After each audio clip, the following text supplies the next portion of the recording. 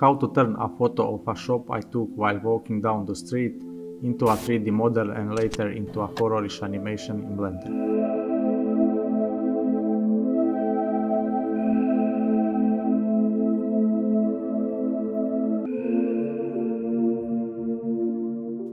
I start with the images as plane add-on. Default cube helps me to set the real world dimensions.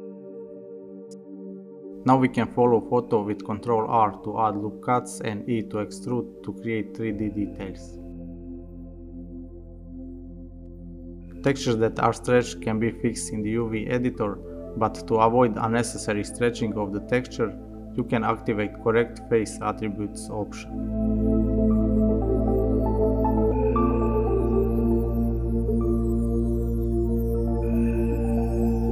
This process is easy even for beginners. You can find more about modeling techniques in my previous video and the entire time-lapse video in the links below.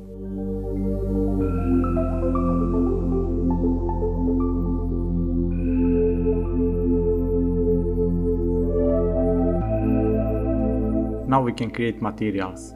For the glass I will use glass shader mixed with the transparent shader.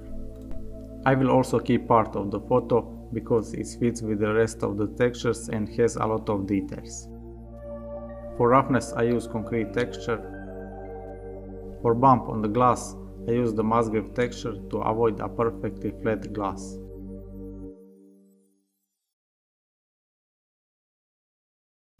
The non-glass texture is less reflective with more bumps and no glass shader.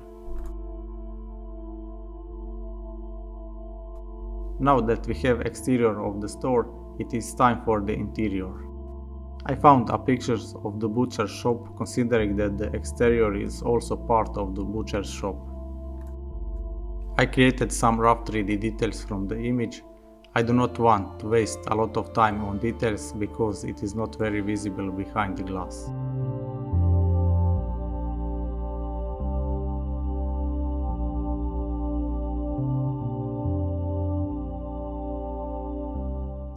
Since I want to create a night scene, I need lights. I created the neon sign simply by mixing the image with the emission node. For interior light, you can add point or area light inside, but there is a better solution.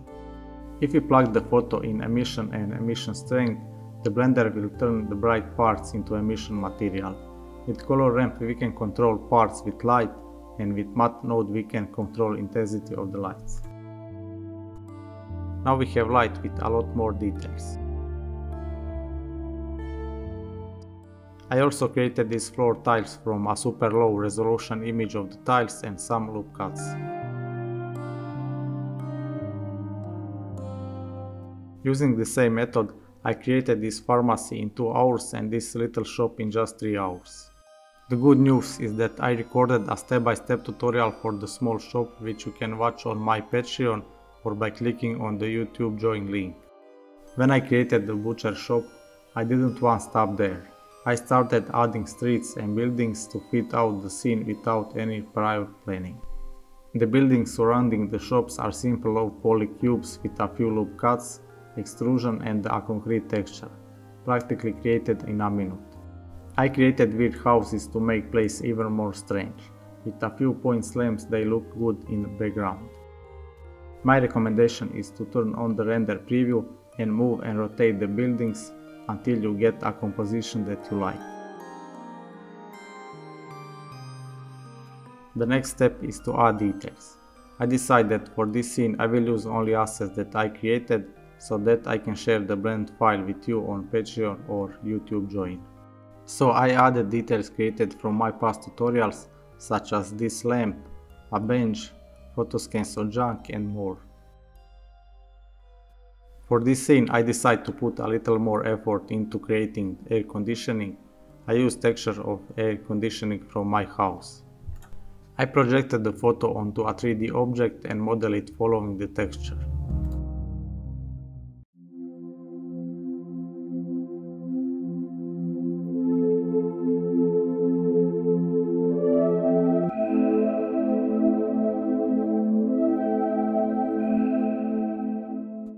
Also model some simple details such as pipes, stairs, cables. I usually keep the light of the world near black. I don't use HDRI for nice scenes unless I want to see the sky or details in the background. As the main lighting, in addition to the light inside the store, I use the light in front of the store to put the store more in focus. In addition, there is another area lamp that helps illuminate the street and brings into focus details in the front of store as well as the texture of the concrete in front. The rest of the lighting refers to the lights in the background, mainly inside buildings. These lights are mostly not intense, I don't want to shift the focus from the store to the background.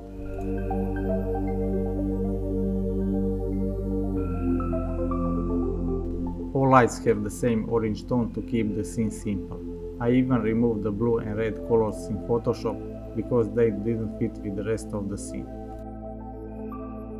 If you add a few intended lines to the flat concrete, the render can look much more realistic. Realism is in the details you don't expect to see on a render.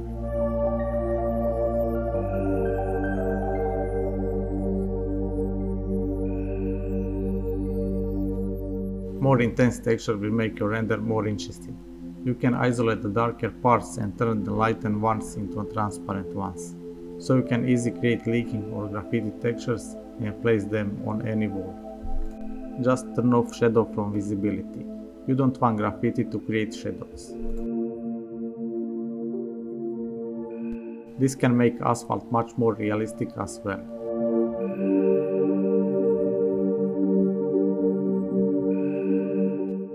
Wireframe modifier is a great tool for creating a lot of details with a simple plane and a few loop cuts.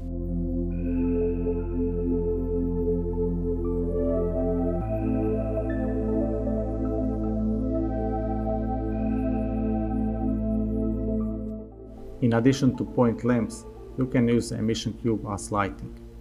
It may not be physically accurate, but it often looks stylistically better than a point lamp.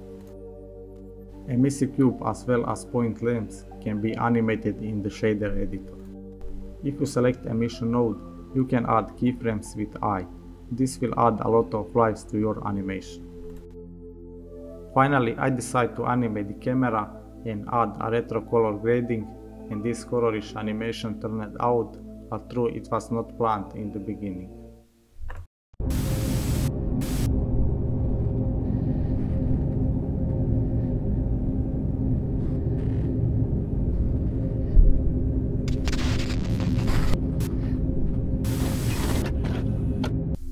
If you learned something new, please like and subscribe. This helps a lot to others to discover this video or channel.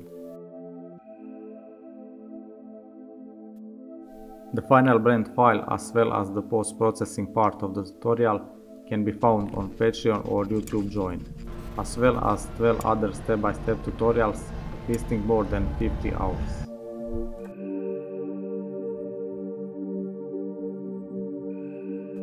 At the time of recording this video, we count 180 Patreons.